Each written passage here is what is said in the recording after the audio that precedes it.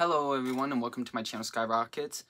My name is Skylar and this is my 15th video for my channel. Now today I will be doing my review on Dune Part 2. I recently just came out with Dune Part 1 review so go check that one out. I did give a little summary of what kind of happens in it. I mean not the whole story just like the premise. So if you don't know what Dune is really about go ahead check that out. But to summarize for those of you that just came to Dune Part 2. The Atreides family went to the planet Arrakis to continue spice production, spice being a resource that people kind of want or rely on. It's like basically like one of those things where it's like people are like, I want that resource, you know? So they'll do whatever they want to get it.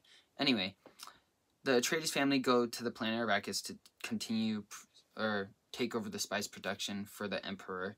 Uh, the Harkins, which were originally doing it, did not like that. So they ambush the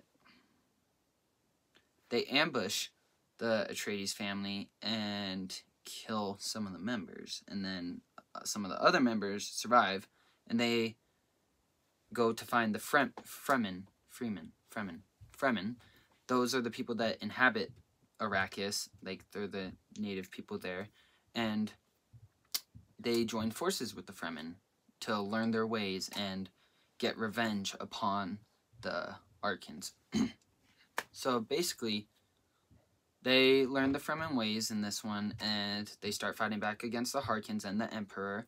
So, part one is basically the pre-war type of plot whereas this one is the like war beginning even more pretty much. So there is going to be a part three.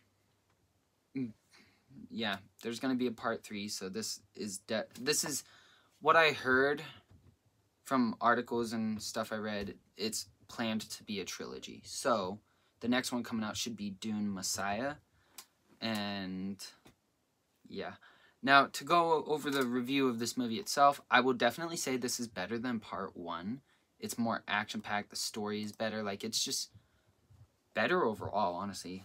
I mean, the effects are still pretty much the same as the first, and, but the story is different, the characters are all the same, yada yada.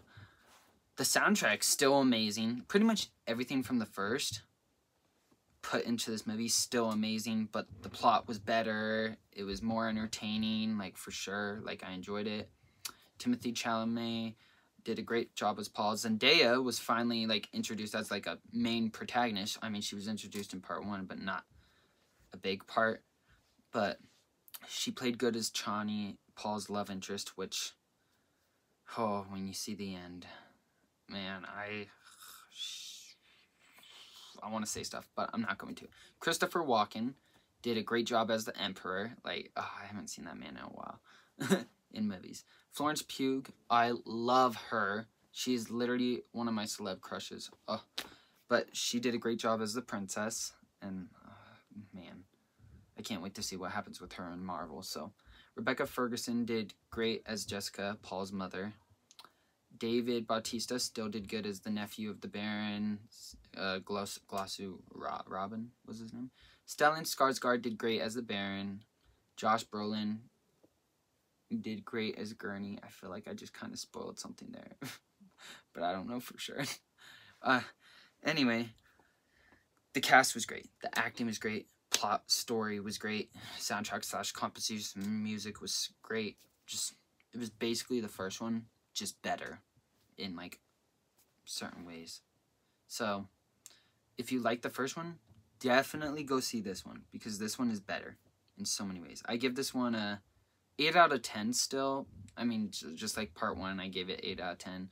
Because again, I'm not like a huge, like, I love it type of person, but I did enjoy it.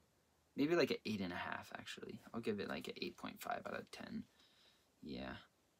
So, definitely go check it out. And if you like my content, please like and subscribe to my channel. If you don't like my content, I still recommend you like and subscribe to my channel. Because, you know, hey. but I'll catch y'all with the next flick.